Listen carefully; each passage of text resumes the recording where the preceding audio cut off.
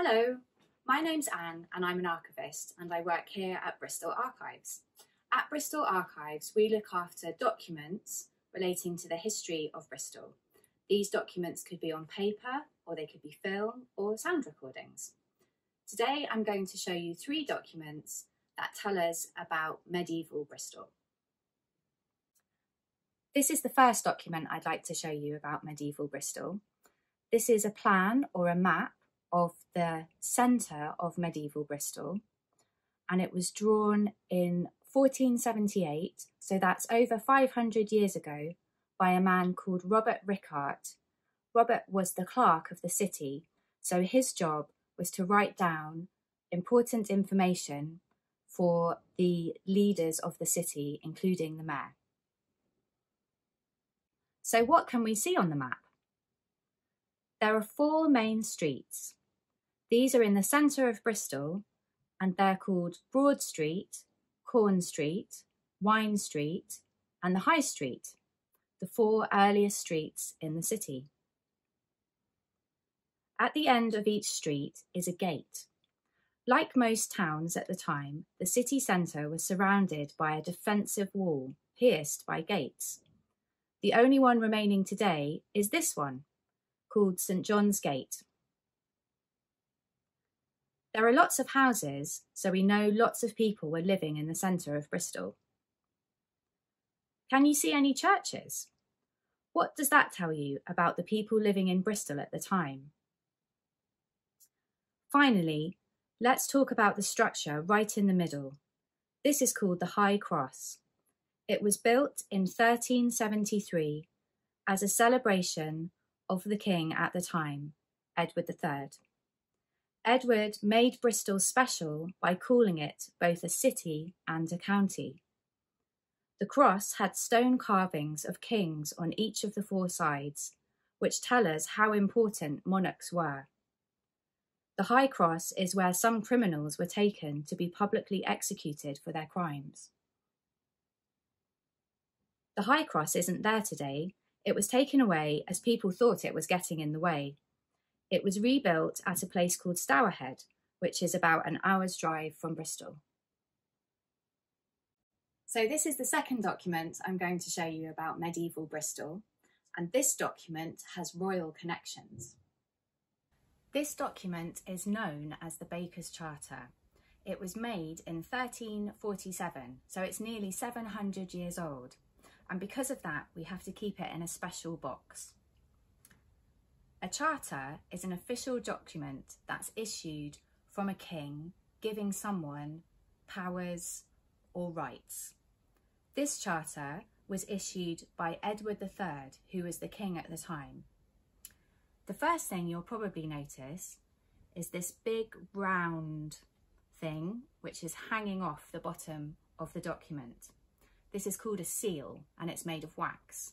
And if you look, you can see there's a man holding a sword and he's riding a horse.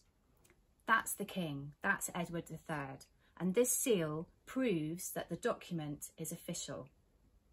The second thing you'll probably notice is in the top corner of the document, there's this little, very beautiful illustration.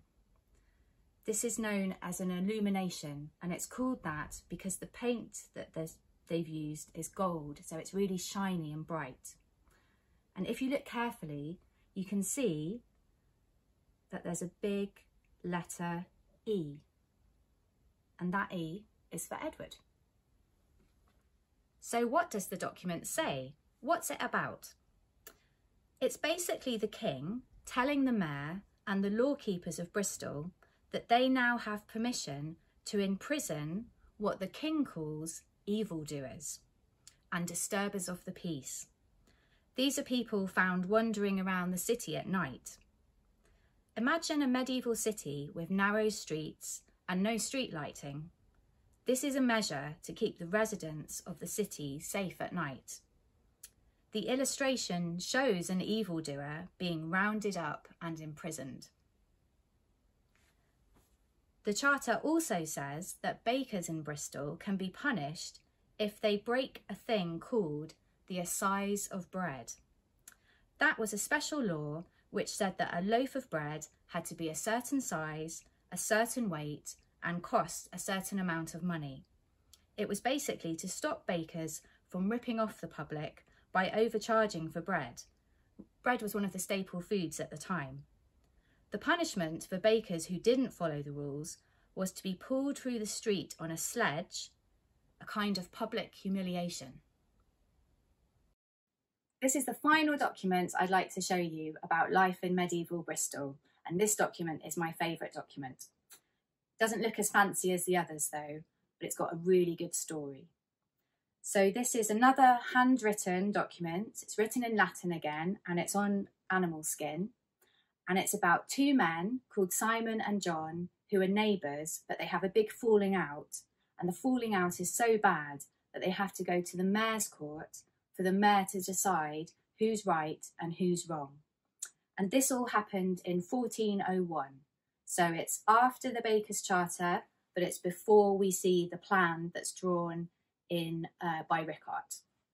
So what's the story about? Well, there are two men called John and Simon, and they're neighbours. They both live on a street called Worship Street, or the Shambles, and that's very near to the streets that we looked at earlier in Rickart's plan. John is very wealthy and he lives in a nice big house on the street, and further along, Simon is a butcher and he runs his butcher's business on the street as well. Now, in the medieval city, there weren't sewers like there are today, so all the rubbish and the filth from all the houses ran out through little gutters and it went along a main gutter which went along the middle of the road. So John was angry because he thought that Simon, on purpose, had blocked up the gutter that ran along the middle of the road. And that meant that all the animal blood and bones and goo and yuckiness that was coming from the butchers was running down the sewer, the gutter in the middle of the road, but it was stopping just outside John's house. So you can imagine that every day when he came out of his front door, there was a big pool of yuckiness there, and it was really stinky and horrible. And all that's described in the document. So John and Simon can't decide whose fault this is, so they take it to the mayor's court, and the mayor and some important men in the city then go and they look at the street and they look at the blocked gutter and they decide, yes, it was Simon's fault. He did block the gutter. And that means that Simon has to pay a fine and give John some money. Now, originally, John had said that this was such a bad situation and it was causing him so much distress that he should be given £40, which is an awful lot of money in the medieval period. With £40, you could buy about 31 horses. But in the end, the mayor and the burgesses decide that Simon needs to pay John £3, which in today's money is the equivalent to about £1,800, and that would only get you three horses. So these three documents highlight the differences from the Bristol that we live in today and the Bristol of around 600 years ago. The king, not parliament, held ultimate power. People were very religious. Punishments for crimes were very different. A different language was used to write things down. However, these documents do allow us to travel back in time and see that people in medieval Bristol were very similar to people in Bristol today, trying to live peacefully alongside each other in a busy and crowded city.